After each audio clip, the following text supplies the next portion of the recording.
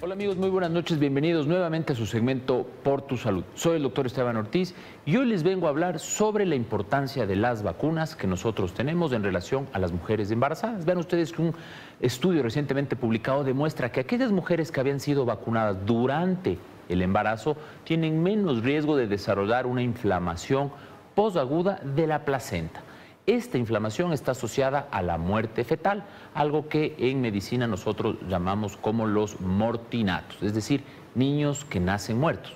Vean ustedes que es importantísimo recalcar que este estudio ha dicho pues que la afección de la placenta pues puede estar asociada a estos riesgos inherentes de procesos patológicos que pueden llevar a que el niño o la niña que esté en el vientre fallezca justo semanas antes de que nazca. Vean ustedes que hoy por hoy, pues la pandemia, si bien ha disminuido su impacto en las comunidades, todavía sigue presente. Es decir, todavía tenemos contagios alrededor de 300 a 500 por día en todo el Ecuador. Parecería ser que es poco, pero esto puede ir aumentando y esto es lo importante de este mensaje.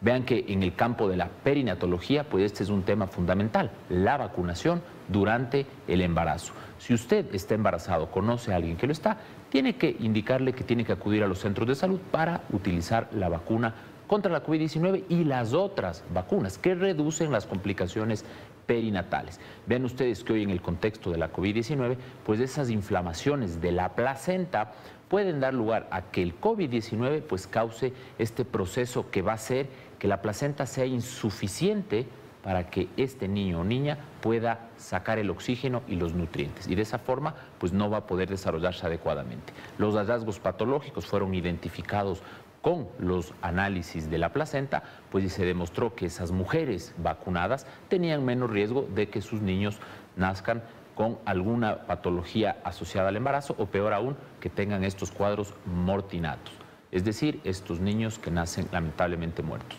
Hoy por hoy, pues la recomendación es esa.